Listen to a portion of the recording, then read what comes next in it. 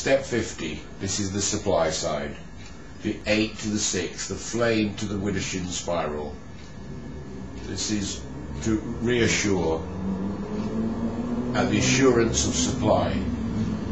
There's a bonfire, a scapegoat, and a sacrifice.